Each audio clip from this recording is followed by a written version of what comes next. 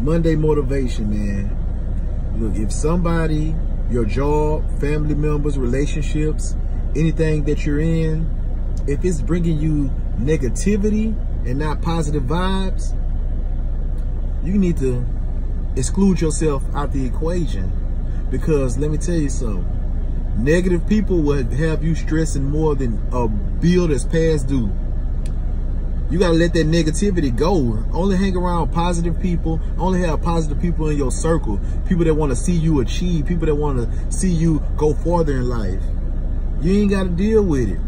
If you see somebody negative, if you feel that you're around negativity, if you got so-called friends, boyfriend, girlfriend, spouse, whatever, if they negative and they giving off negative energy, you need to move around. Stay with the positive.